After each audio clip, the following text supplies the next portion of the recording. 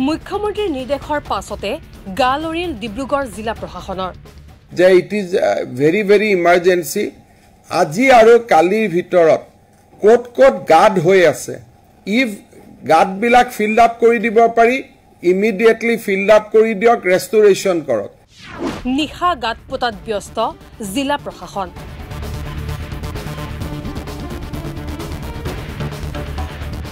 দেওবাৰে মুখ্যমন্ত্ৰী হিমন্ত বিশ্ব শৰ্মা ৰাজ্যৰ উপায়ুক্তসকলৰ সৈতে এক গুৰুত্বপূৰ্ণ বৈঠকত মিলিত হয়। মুখ্যমন্ত্ৰীগৰাকীয়ে পথৰ গাঁতসমূহ শীঘ্ৰেই পুতি পেলাবলৈ নিৰ্দেশ দিয়ে উপায়ুক্তসকলক। মহানগৰীত এগৰাকী ছাত্ৰী নিহত হোৱাৰ পাছত ডিব্ৰুগড়তো পথৰ গাঁতত পৰি এগৰাকী স্কুটি আৰোহীৰ মৃত্যু হোৱাৰ পাছতে উপায়ুক্তসকলৰ সৈতে মুখ্যমন্ত্ৰীৰ হোৱা বৈঠকৰ পাছত এনেদৰে গাঁত পোতা কামত ব্যস্ত হৈ পৰিছে জিলা প্ৰশাসন।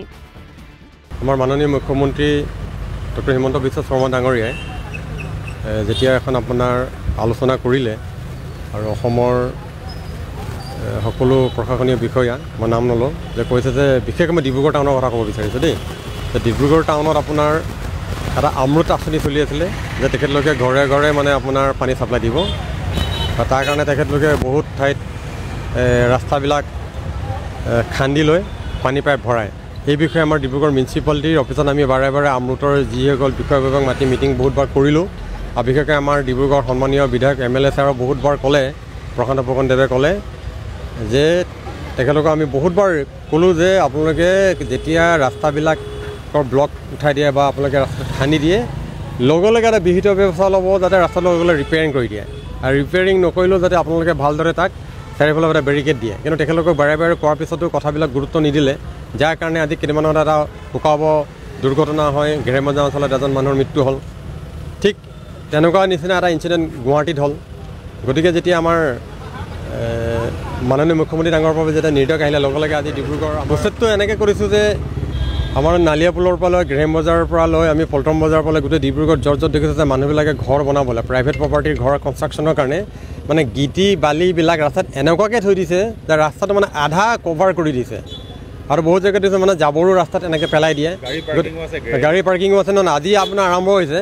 আমি এতিয়া মই নিজে কৈছিলোঁ আমাৰ ট্ৰেফিকৰ মৃগেন শইকীয়া ছাৰক যে আপোনালোকে আমলাপতি অঞ্চলতো বহুত এনেকুৱা গাড়ী ৰাস্তা কাষত ৰখাই থাকে। মই আগতো এই ট্ৰেফিক ইনচাৰ্জজনক কৈছিলোঁ। আৰু এম এল এ ছাৰো কৈছে মুঠতে ইমিডিয়েটলি যিমানবিলাক বেয়া বেয়া গাড়ী ৰাস্তা মুখত ৰখি আছে কালিৰ ভিতৰত তোলা হ'ব। আৰু বাঁহ চাহ যিমান পৰি আছে বাঁহৰ ব্যৱসায় কৰা মানুহে বাঁহ পেলাই থৈছে বাঁহবিলাকো তোলা হ'ব। মানে ডিব্ৰুগড় আপুনি কালিৰ ভিতৰত দেখিব ক'তো এখনো এনেকুৱা ভঙা গাড়ী ৰাস্তাত নেদেখে।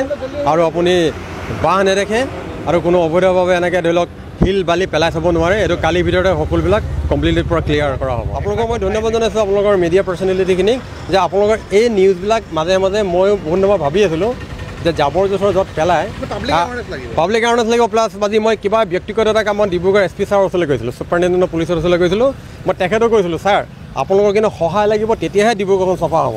আদাৰৱাইজ অকল মিউনিচিপালিটি কৰিবলৈ নোৱাৰে এইটো সমূহীয়া হয়। ইয়াত আমাৰ ডিব্ৰুগড় যিখিনি ডিব্ৰুগড় নগৰক ভাল পোৱা ব্যক্তি হয় আপোনালোকৰ যিজন সাংবাদিক বন্ধুসকল হয় ডিব্ৰুগড় মিউনিচিপালিটি ডিব্ৰুগড় প্ৰশাসন আৰু ডিব্ৰুগড় বিশেষকৈ পুলিচ বাহিনী সকলোৱে মিলি আমি চাফা কৰিব লাগিব।